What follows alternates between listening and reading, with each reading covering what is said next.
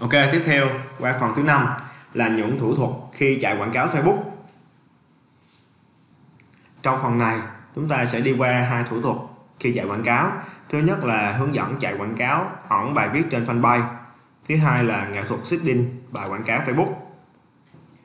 Rồi, chạy quảng cáo ẩn trên bay. Khi nào thì chúng ta còn phải chạy bài quảng cáo ẩn trên bay? Chúng ta chạy ẩn quảng cáo trên bay là để tránh khách hàng nhìn thấy có quá nhiều bài quảng cáo trên cùng một fanpage. Hoặc thứ hai là chúng ta không để cho đối thủ nhìn thấy bài quảng cáo này, đề phòng những cái trường hợp xấu là khách hàng cúp đơn, vân vân.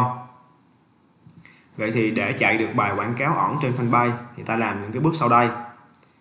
Đầu tiên là chúng ta sẽ vào một bài viết trên trang. Chúng ta tạo một cái bài quảng cáo mà chúng ta muốn quảng cáo ẩn thì khi mà chúng ta tạo bài quảng cáo xong thì chúng ta sẽ chọn bài viết đó để tạo quảng cáo. Thì lúc này bài viết đó không được đăng trên fanpage, không được đăng lên tường của fanpage, nhưng chúng ta vẫn đang chạy quảng cáo cho nó. Đây, chúng ta vào một bài viết trên trang trong trình quản lý quảng cáo của business. Chúng ta bấm vào bài viết trên trang. Sau khi vào bài viết trên trang thì chúng ta sẽ tạo một cái bài viết, ở cái mục là bài viết quảng cáo. Ở đây ví dụ như mình vừa tạo xong những cái bài viết, trong ở cái phần là bài viết quảng cáo rồi, sau đó chúng ta chọn vào cái bài mà chúng ta muốn quảng cáo. Chúng ta bấm vào hành động và tạo nút quảng cáo. Và khi tạo quảng cáo này, chúng ta sẽ lại quay lại những cái phần trước để xem cái hướng dẫn tạo quảng cáo target như thế nào, ngân sách ra sao thì ở phần trước mình đã có hướng dẫn qua. Thủ thuật thứ hai khi chạy quảng cáo đó là thủ thuật seeding.